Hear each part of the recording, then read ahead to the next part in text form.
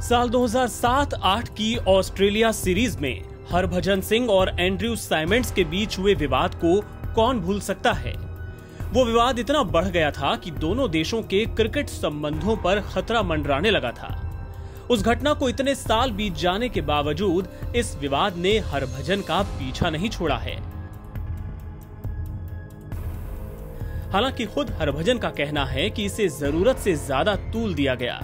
शुक्रवार को अपने 40वें जन्मदिन के मौके पर नवभारत टाइम्स के साथ खास बातचीत में उन्होंने कहा, जो हुआ, उसे ज़रूरत से ज़्यादा हवा दी गई। मामला वहीं का वहीं ग्राउंड पर सुलझ सकता था।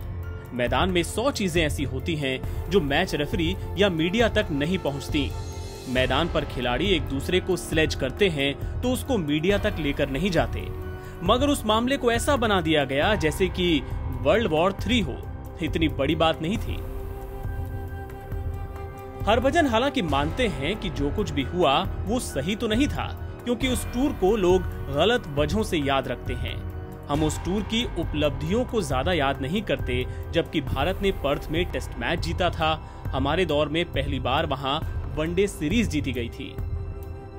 क्या हरभजन की इस बारे में कभी ऑस्ट्रेलिया के क्रिकेटरों से बातचीत हुई?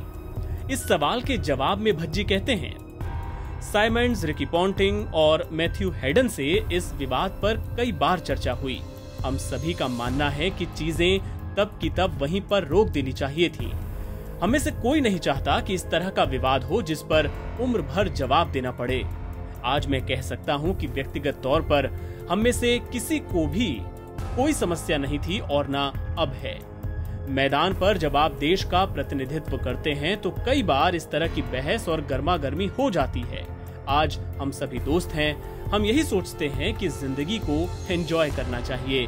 मैं किसी के साथ ईर्ष्या नहीं रखता, और मुझे लगता है कि इनमें से तीनों मेरे साथ ईर्ष्या नहीं रखते। उस घटना के बाद हम जब जब मिले हैं, बहुत हंसकर मिले हैं, और अच्छा वक्त बिताया है।